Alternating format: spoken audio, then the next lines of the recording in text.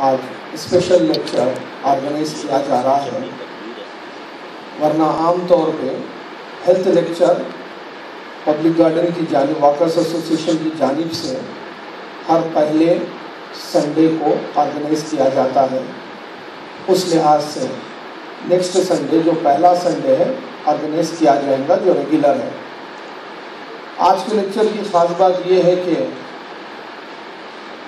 World heart foundation USA की जानिब से, हर साल 29 सितंबर को वर्ल्ड हार्ट डे मनाया जाता है और इसकी शुरुआत सन 2000 में हुई है।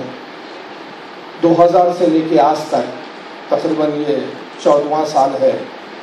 ये वर्ल्ड हार्ट फाउंडेशन की जानब से ये वर्ल्ड हार्ट डे मनाया जा रहा है। तो इसकी जो तारीख है, ये उनतीस सितंबर है, जो यानी कि कल है। क्योंकि कल पीर है, आमतौर पे हमारे लेक्चर इतवार को होते हैं तो ये सोचा गया है कि हम इतवार को रखना मुनासिब रहेगा।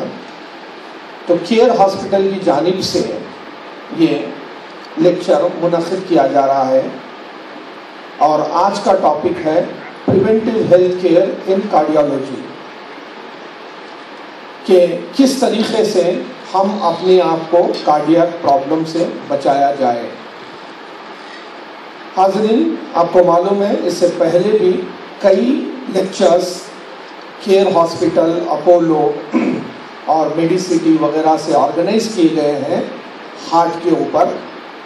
और जितने भी स्पीकर्स यहाँ पर बात किए हैं हार्ट के जो प्रॉब्लम्स हैं, पूरी दुनिया में जिस तरीके से हो रहे हैं, हिंदुस्तान में जिस तरीके से हो रहे हैं, और हैदराबाद में जिस तरीके से हो रहे हैं, उसके बारे में ज़िक्र करते आ रहे हैं।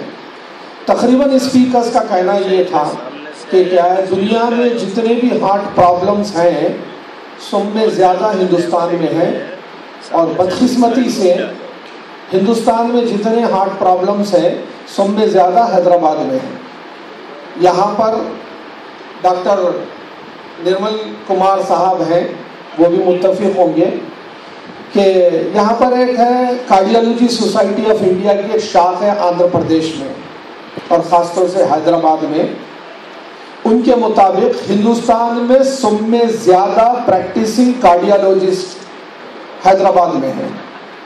और जो कार्डियोलॉजिस्ट का मतलब या तो वो डीएम होना चाहिए या तो डीए होना चाहिए डिप्लोमा इन डी कार्ड बोलकर बोलते हैं डिप्लोमा इन कार्डियोलॉजी तकरीबन यहाँ पर 225 कार्डियोलॉजिस्ट प्रैक्टिस करते हैं, ये कहें।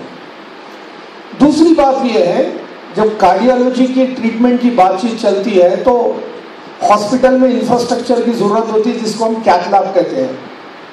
कैथलैब वो इक्विपमेंट है, जहाँ पर कार्डियक प्रोसीजर जैसे एंजियोग्राम एंजियोप्लास्टी वगैरह करते हैं। और आपको सुन के ताजुब होगा कि हिंदुस्तान में सब में ज़्यादा कैथलैब वो हैदराबाद में है।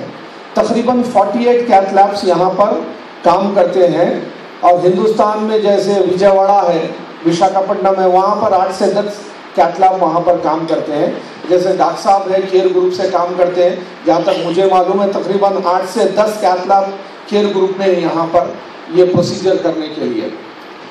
इसके अलावा ये कहा जाता है कि दुनिया में सब में ज़्यादा चीपेस्ट जो प्रोसीजर है एंजियोग्राम जो जो ब्लॉकेज है आर्टरी में, उसको पता करता है एंजियोग्राम वो हैदराबाद में होता है चीपेस्ट यहाँ की जो कीमत है छः हज़ार से साढ़े छः हज़ार रुपये में एंजियोग्राम होता है। हिंदुस्तान में कहीं नहीं होता और पूरी दुनिया में भी कहीं नहीं होता है।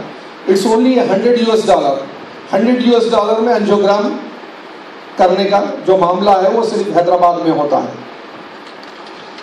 हिंदुस्तान की खुशकिस्मती रही कि बहुत बड़े कार्डियोलॉजिस्ट यहाँ पर है। बदकिस्मती ये रही कि बहुत ज़्यादा बीमार लोग भी यहाँ पर हैं। जब कार्डियोलॉजी की बात करते हैं तो हिंदुस्तान में जिस तरीके के नाम आते हैं, जैसे डॉक्टर देवी शेट्टी, नारायण रुद्यालय नरेश त्रेहान वेदांता मेडिसिटी इस तरीके से हैदराबाद में सोमा राजू प्रसाद राव और गोपी चंद, आज आज आज डॉक्टर साहब बात कर रहे हैं, निर्मल कुमार जी, सुनील कपूर। तो इतने लोग हैं। एक चीज़ मैं कोट करना चाहता हूँ, नारायण रुदाले हॉस्पिटल, जिनका कहना है कि हिंदुस्तान के 18 फ़ीसद जितने कार्डियक प्रोसीजर होते हैं, वो करते हैं। तो डॉक्टर देवी शेट्टी जिसके चेयरमैन है बेंगलुरु में रहते हैं। ऐसी मुलाकात का अक्सर मौका मिलता है तो मैं इनसे सवाल किया था कि आप ये कार्डियक जो प्रॉब्लम है, किस तरीके से आप हल कर रहे हैं? तो उनका कहना ये था कि मसूद साहब, बदकिस्मती की बात यह है कि जब मैं स्टार्ट किया था प्रैक्टिस एज ए कार्डियोलॉजिस्ट अस्सी के दहे में तो यंग जो लड़के होते थे, वो अपने बूढ़े वालिद को मेरे पास लाते थे इलाज करने के लिए। पर बदकिस्मती से अब जो बूढ़े वालिद हैं, वो अपने यंग बच्चे को लाते हैं कार्डियक इलाज कराने के लिए। एज ए कार्डियोलॉजिस्ट ये मेरे लिए बदकिस्मती की बात है कि वालदेन अपने बच्चों को इलाज कराने अब लेकर आ रहे हैं। इसका मतलब क्या है? 25-30 साल की उम्र में भी ये प्रॉब्लम्स है। हाजरीन आमतौर पे पाँच छः मिनट लेते हैं। इसकी वजह यह है कि जो लोग आ रहे हैं, वो जमा हो सकें।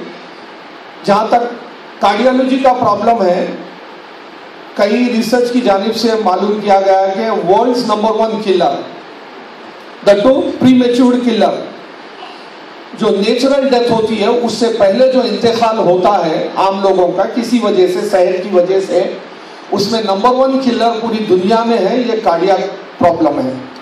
आमतौर पे हम हार्ट डिसीज कहते हैं, मगर मेडिकल साइंसेज में हार्ट डिसीज बोल के कोई वर्ड ही नहीं है वहाँ पर, कि दिल कभी बीमार नहीं होता है जो बीमार होने का जो मामला है वो आर्टरी का है शीरियान का। तो इसको मेडिकल साइंस में कहते हैं सीवीडी कार्डियोवेस्कुलर डिसीज जिसे हार्ट डिसीज हार्ट डिसीज कहते हैं। हार्ट डिसीज का कोई कॉन्सेप्ट नहीं है। सो so, सीवीडी का जो प्रॉब्लम है कार्डियोवेस्कुलर डिसीज जिससे तकरीबन हर साल दो करोड़ आदमी पूरी दुनिया में ख़त्म होते हैं। और हिंदुस्तान में भी सब में ज़्यादा ख़त्म होने का जो प्रीमेच्योर डेथ कहते हैं, उसका भी जो मामला है, वो कार्डियक प्रॉब्लम है सीवीडीज का। और इंडिया टुडे का सर्वे है अप्रैल 2010 में, पूरे मेट्रो सिटीज़ जो है स्टेट कैपिटल में किए थे। वो सर्वे में ये पता कि, पता चला है कि 70 परसेंट लोग जो मेट्रो सिटीज़ में हैं they are at risk in cardiovascular disease इसका मतलब ये है कि जो सिटीज़ है कैपिटल सिटीज़ इंक्लूडिंग हैदराबाद, जो एज ग्रुप उन्होंने कहा कि 25 साल से उनहत्तर साल 69 25 टू 69 इयर्स की जो एज है, उसमें लोगों को 70 परसेंट रिस्क है कि कार्डियक प्रॉब्लम हो सकता है।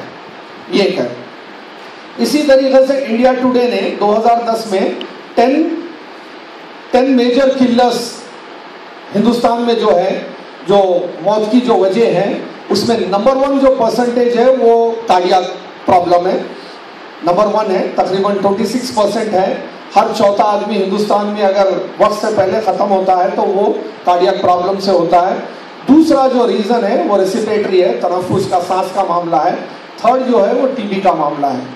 तो मैं समझता हूँ कि क्या है, ये बहुत ही इम्पोर्टेंट लेक्चर है और पब्लिक गार्डन वर्कर्स एसोसिएशन और केयर हॉस्पिटल ने इनिशिएटिव लिया है कि इस इम्पोर्टेंट लेक्चर को, ये वर्ल्ड हार्ट डे जो कल है, हम आज सेलिब्रेट कर रहे हैं और मालूम हासिल हो। अब जहाँ तक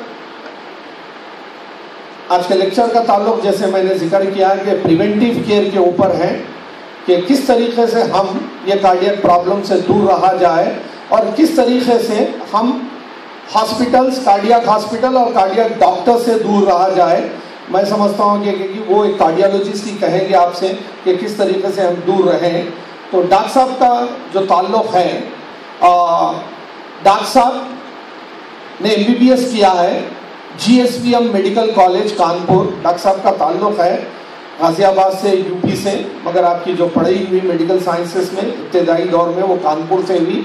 वो एम बी बी एस उन्नीस सौ बयानवे नाइनटीन नाइन्टी टू में किए हैं। उसके बाद general medicine M L B medical college, Jhansi 1995 में कंप्लीट किए हैं।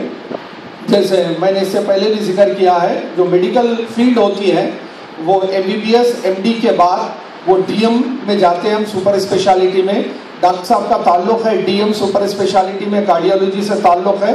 वो G S B M medical college Kanpur, जहाँ से वो एम बी बी एस किए थे, वहीं से वो डी एम कार्डियोलॉजी किए 2000 में।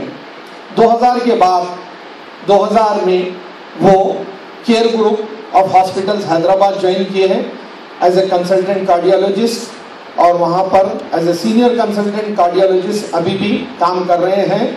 और डॉक्टर साहब का ताल्लुक है कार्डियोलॉजी के अलावा इंटरवेंशन कार्डियोलॉजी कार्डियोलॉजी और कार्डियो थोरेसिक सर्जन दो तरीके के। कार्डियोलॉजिस्ट जो होता है, जो इलाज करता है दवाओं की इस्तेमाल से, और सिटी सर्जन जो होता है, वो सर्जरी करता है, जैसे बाईपास सर्जरी है।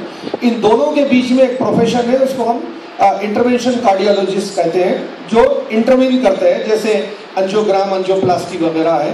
तो डॉक्टर साहब का जो ताल्लुक है इंटरवेंशन कार्डियोलॉजी से है, और आपको सुन के ताजुब भी होगा और खुशी भी होगी। कि डॉक्टर साहब ने तकरीबन दस हज़ार अंजियोग्राम हैदराबाद में केयर ग्रुप में किए हैं और उसमें से तीन हज़ार अंजियोप्लास्टी किए हैं। आमतौर पे जब अंजियोग्राम करते हैं तो जब ब्लॉक मालूम होता है कि ब्लॉकेज है आर्टरी में तो वहाँ पर क्या है प्रोसीजर के लिए जाना पड़ता है अंजियोप्लास्टी इसको स्टंटिंग यानी तो बलूमिंग कहते हैं। तो उसके हिसाब से क्या है मालूम डॉक्टर साहब ने दस हज़ार अंजियोग्राम और तीस हज़ार अंजियोप्लास्टी किए। और ये हमारे लिए खुशकिस्मती की बात है। आज हमारे साथ हैं डॉक्टर निर्मल कुमार साहब। मैं समझता हूँ कि थालियों की गूंज में उनका इस्तेमाल करें। आपके लेक्चर के आपके heart disease preventive health care. शुक्रिया।